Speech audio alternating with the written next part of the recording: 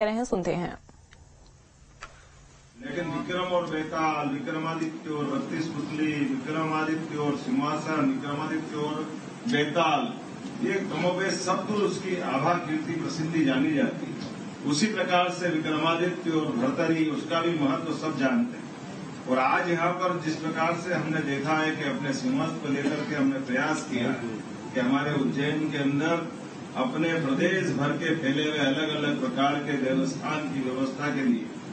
जैसे राजधानी जब बनी भोपाल तो हर नगर को कोई न कोई मान मिला जो पुराने प्राचीन नगर थे।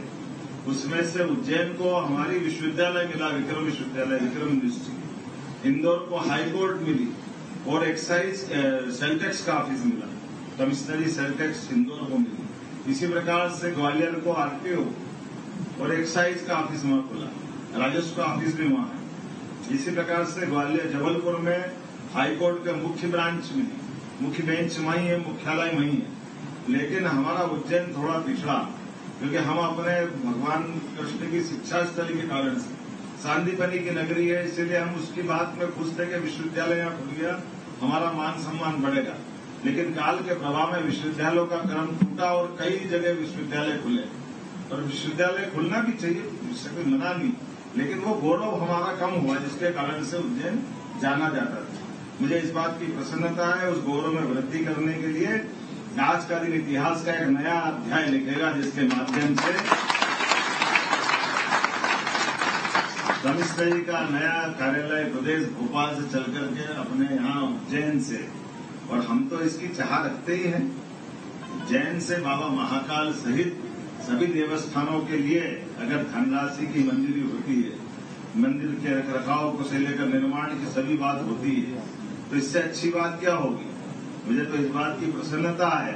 और तो हमारी जितने भी देवस्थान पे जाने वाली धार्मिक यात्रा है, उन यात्राओं का भी इसी विभाग के माध्यम से संचालन होता है। हमारे मुख्यमंत्री तीर्थ दर्शन योजनाओं के लिए सूची का चयन और बाकी की व्यवस्था, वो सब इसके माध्यम से होती है। विभिन्न प्रकार के मंदिरों के निर्माण को लेकर भी लगभग 26 करोड़ रुपया का बजट अपने इस कमिश्नरी के माध्यम से विकास की दृष्टि से दिया जाता है।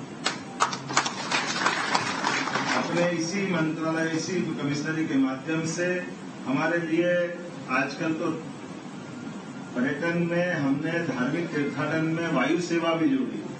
तो प्रयागराज, मथुरा, वृंदावन, गंगा सागर, ऐसे स्थानों पर जब तीर्थ दर्शन यात्रा में हवाई यातायात का लाभ लेंगे हवाई यातायात का।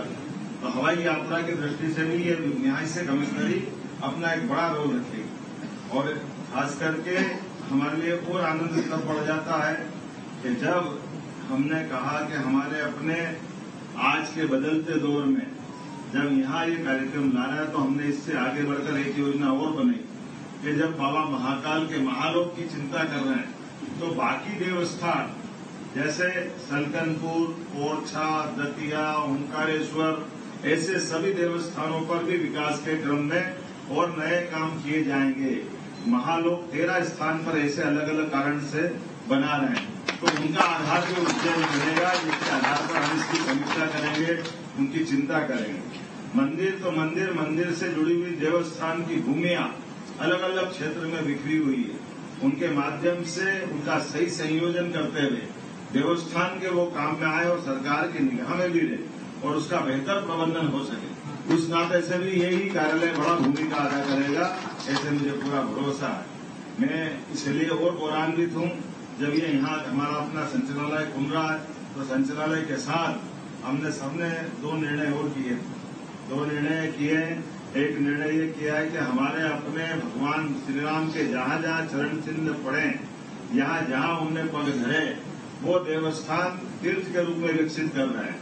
ऐसी प्रकार से भगवान कृष्ण के बारे में भी हमने कामना की है। और सरकार का निश्चय है कि भगवान कृष्ण की जहाँ जहाँ लीलाएँ हुई, वो भी देवस्थान की तरह धार्मिक तीर्थ के पर्यटन के केंद्र बने, तीर्थाटन के केंद्र बने, हमारी आस्था के केंद्र बने। उसमें भी महती भूमिका, यही संचालय निभाएगा, मेरी यही मन में भावना भी है और कामना भी है और मुझे पूरा भरोसा है कि दिशा में भी काम होगा।